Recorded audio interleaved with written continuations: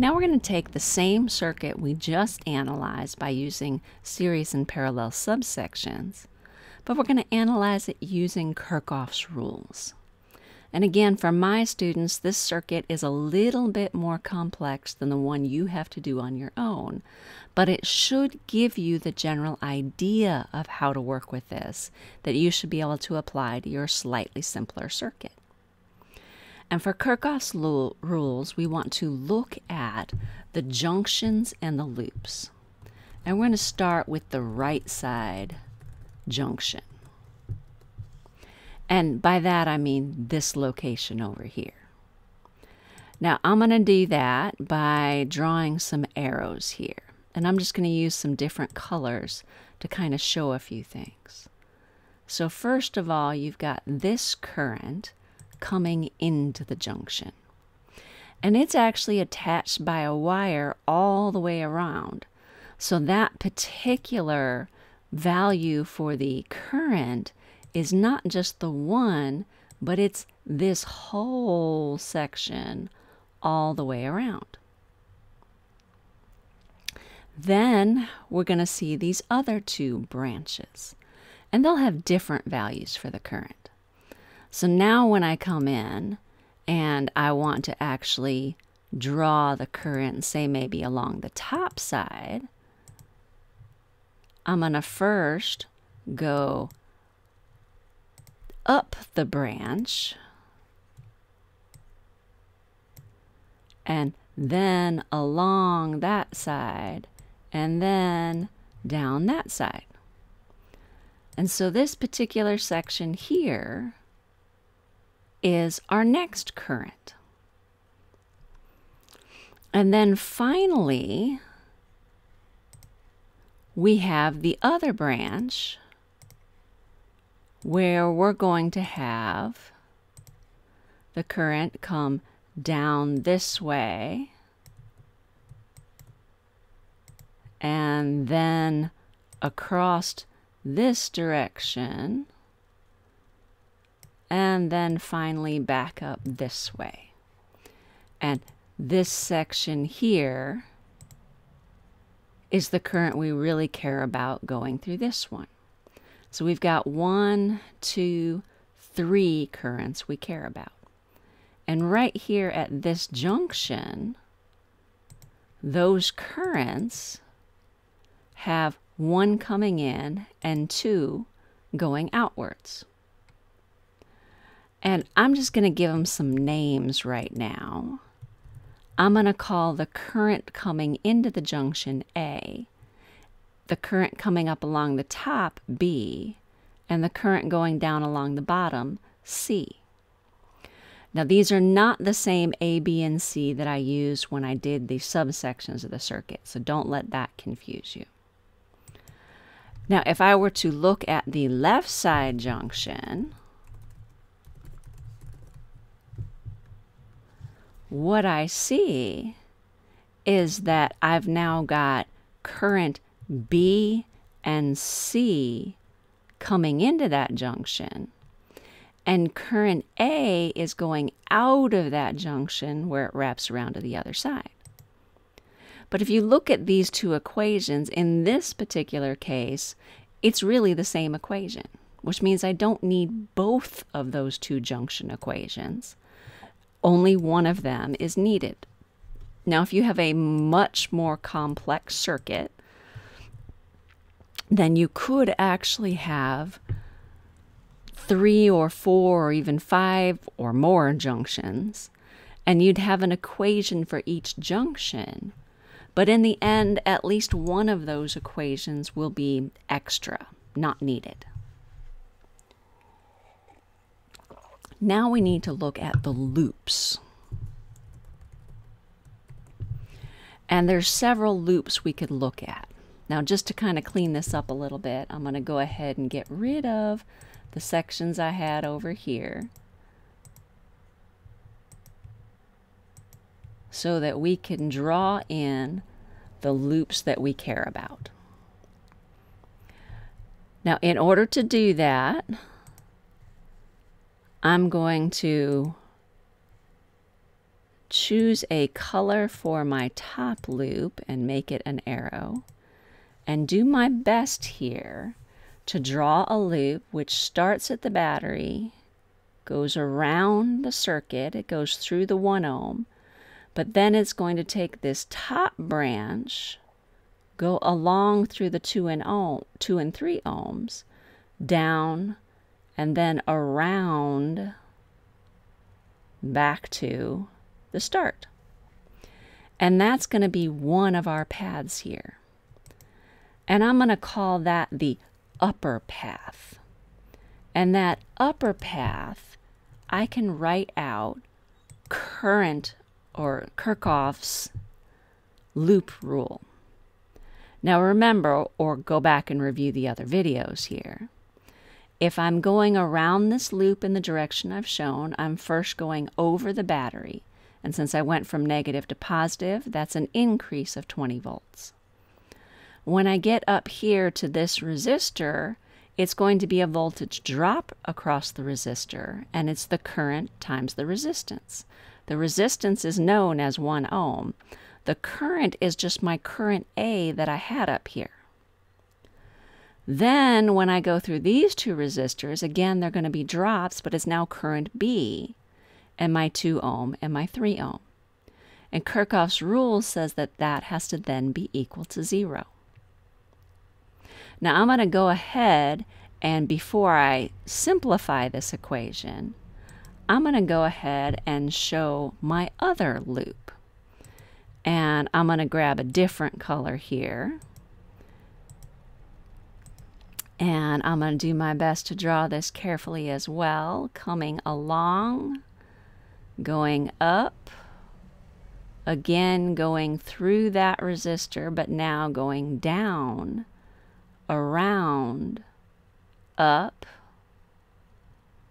and then back to the battery. So this is my second loop I could take a look at. And for this second loop, again, I can apply Kirchhoff's loop rule, I have an increase as I move over the battery of 20 volts. Again, I have the same drop of minus current A times 1 ohm. And then again a drop, so it's minus, but now it's IC times 4 ohms. And then when I get back around to where I started, I have to be back at zero because the voltage changes over the loop balance out where it increases and where it drops off. Now, there is a third loop I could do, but just like our junctions, you can end up having a one which is more than you need. I could come around, go through the 2 and the 3 ohms, and then go backwards through the 4 ohms. That's another loop I could do, and I could write out the equations for it. In that case, I would basically have this part of the equation, and then plus this part of the equation. And what happens here is that if I had took this equation and subtracted this equation from it, I would get the equation for this small loop. And because it came from those two, again, it's an extra equation that we don't actually need to solve this problem. So for simplicity, I'm going to not write that equation out. But if you're curious, you can ask me about that one. So now I've got a set of equations to solve. I don't actually have to look back at my circuit, although I can to make sure I understand what I'm doing but I can start working through these equations. And I'm going to start by simplifying this top equation here for the loop.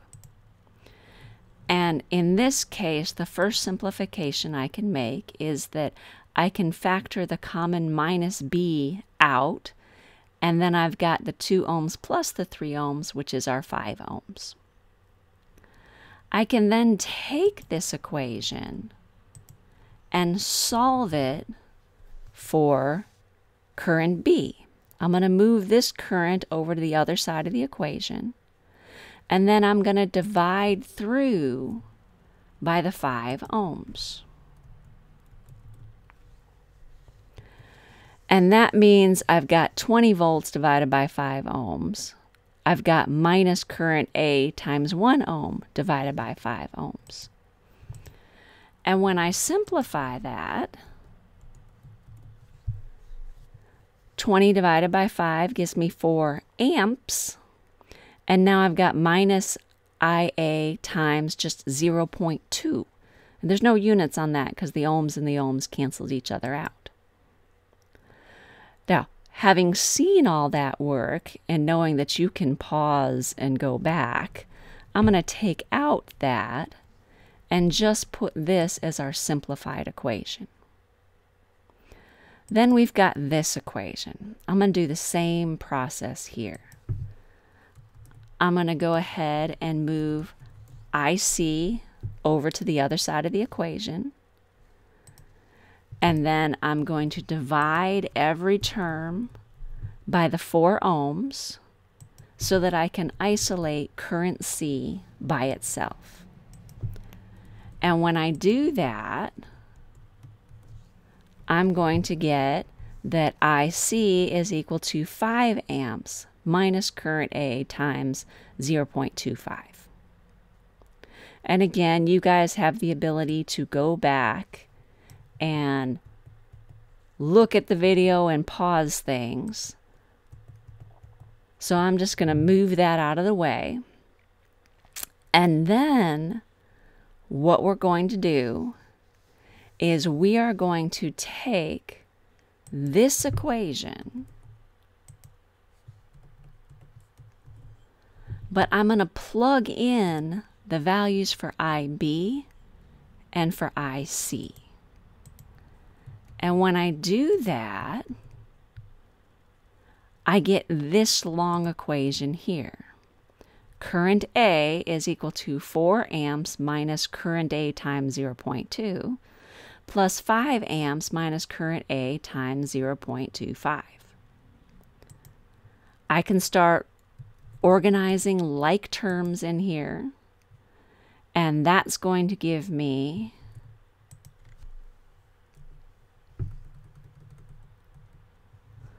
that the 4 and the 5 amps come together, the 0.2 and the 0.25 come together continuing to rearrange this, I can move the 0.45 over, which is going to give me 1.45 and my 9.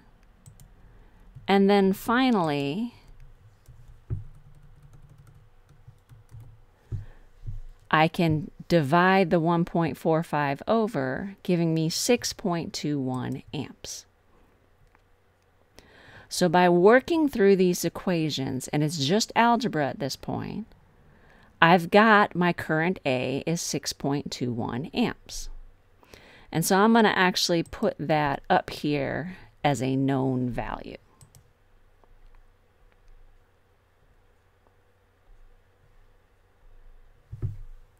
Give me a second.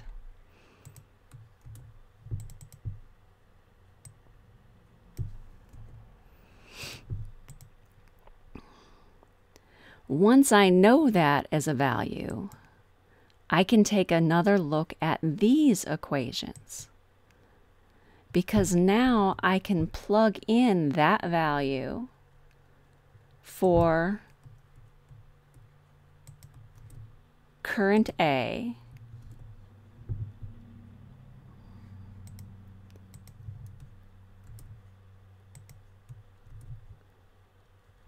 and then simplify it. And I've got a value for current B, which I'm going to copy up here. And similarly, I can now put that value in down here.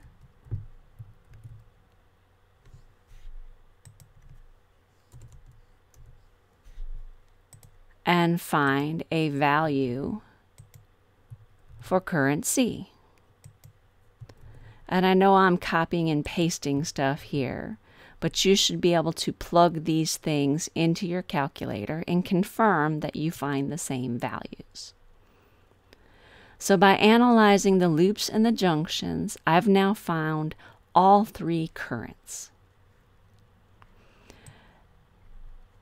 The next step in the process is to realize that once I know all of my currents, I can find all of my voltages because the voltage for each resistor is going to be the value of the current through that resistor and the resistance of the resistor itself. So now I have the voltages across each one of the resistors as well as the current through each resistor. These are the current values, these are the voltage values for these individual resistors. And since I had already analyzed this particular circuit using subsections of the circuit, you can go back and compare it to what I got at the end of that video and see that we have the same answers. Now, Kirchhoff's rules are very powerful, but it uses a lot of algebra.